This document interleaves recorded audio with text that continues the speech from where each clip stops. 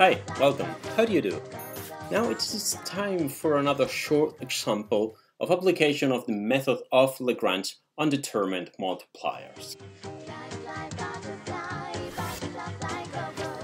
Consider a block that slides down an incline.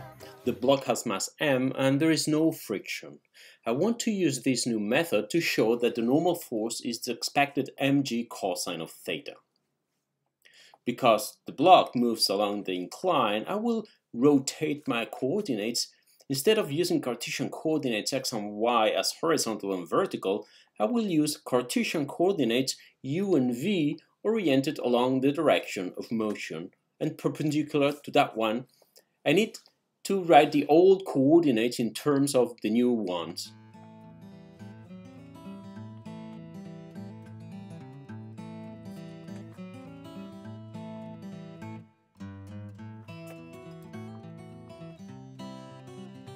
This is in fact just a rotation which can be written using metrics.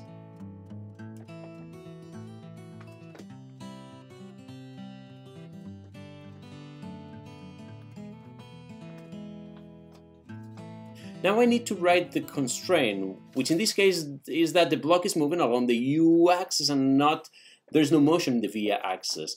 So I can write f equal to v minus c equal to 0, where c is a constant. This constraint equation says that the coordinate v is constant. Now I can write the Lagrangian. Be careful as I have to write it for both coordinates u and v, even though I know there is a constraint. But remember that the constraint is applied right after the Lagrange equations. First the kinetic energy, 1 half of m u dot square plus v dot square. Now the potential energy, mgy. But I now write y in terms of u and v,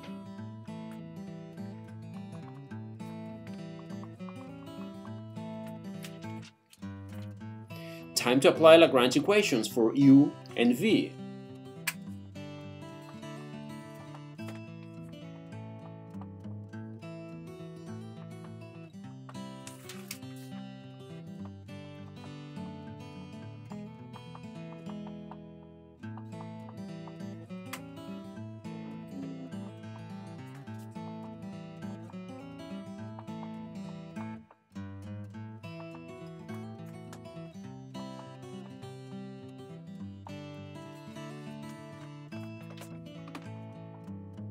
When it comes to Lagrange multipliers, because the constraint only depends on v, there will only be one multiplier in the direction of the coordinate v.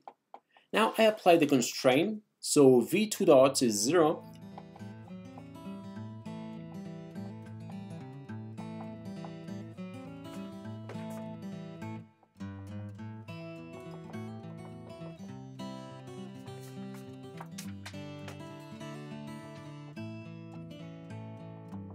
and get these two equations.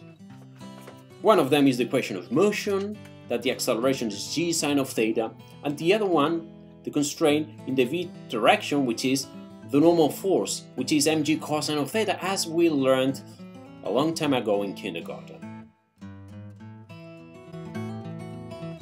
May the Lagrangian be with you.